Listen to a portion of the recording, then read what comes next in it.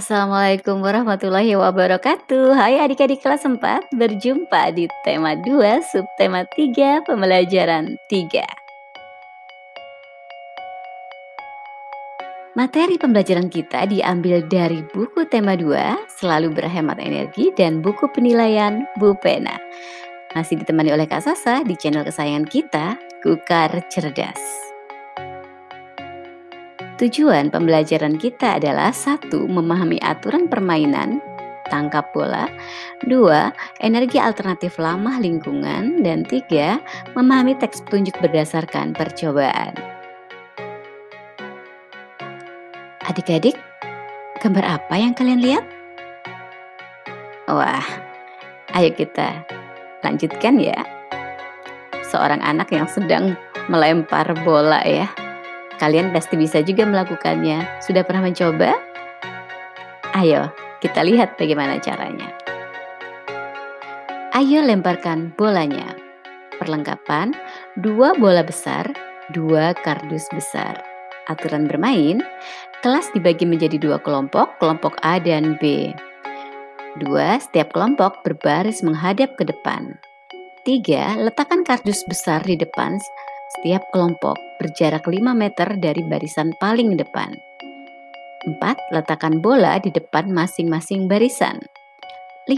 Saat mendengar aba-aba mulai, anggota saling paling depan harus mengambil bola, kemudian bola dipegang dengan kedua tangan. 6. Anggota harus melompat ke depan 5 kali dan memasukkan bola ke dalam kardus. 7 Anggota pertama mengambil bola dan meletakkan di depan anggota berikutnya. Dan delapan anggota kedua melakukan hal yang sama sampai semua orang di dalam kelompok tersebut melemparkan bola. Sangat menarik ini adik-adik. Harus dicoba ya. Nah, adik-adik, setelah tadi kita berolahraga, bermain lempar bola, kakak punya tiga buah nih ada buah jeruk, ada buah apel, dan ada buah kentang. Mau diapakan ya tiga buah ini? Nah, di rumah kita banyak menggunakan energi listrik ya adik-adik.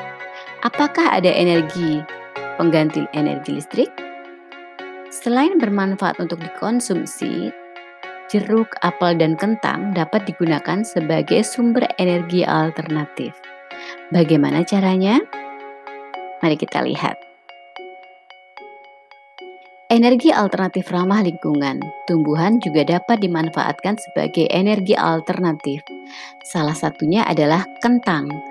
Merupakan umbi batang yang dapat dimakan sekaligus menjadi energi alternatif.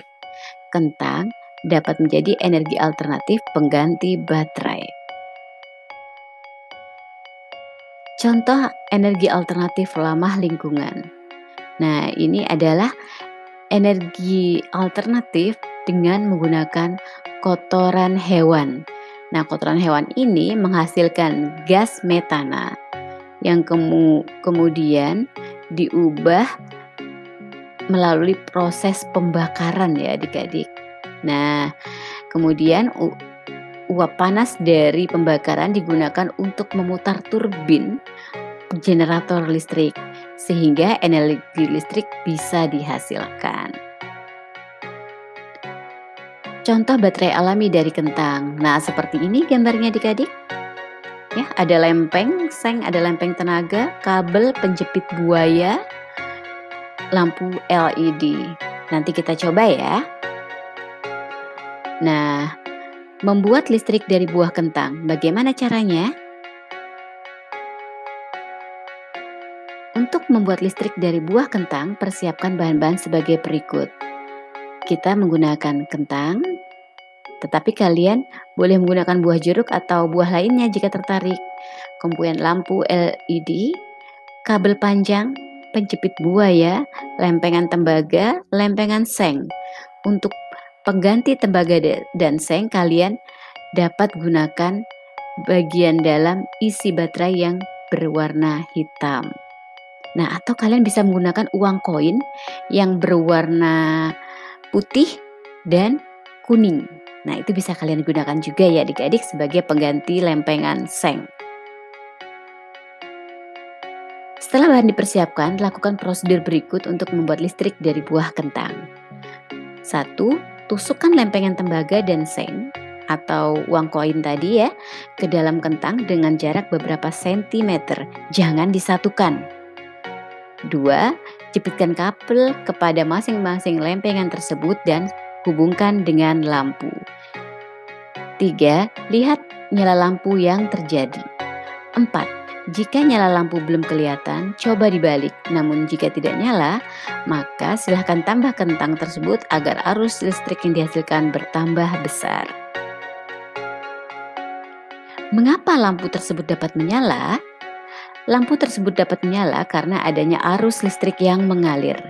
Seperti halnya baterai dan lampu senter, kentang dan lempengan-lempengan itu pun menghasilkan arus listrik walaupun sangat lemah berkisar di kekuatan 1 volt. Getah dari kentang mempengaruhi logam-logam itu secara kimiawi layaknya larutan elektrolit dalam aki.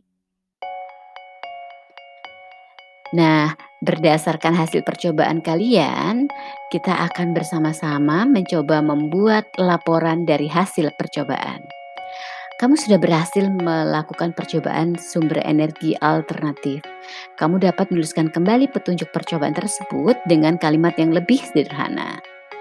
Contoh, bersihkan permukaan kentang dan tusukkan lempengan seng dan tembaga ke dalam umbi kentang dengan jarak kurang lebih 3 cm.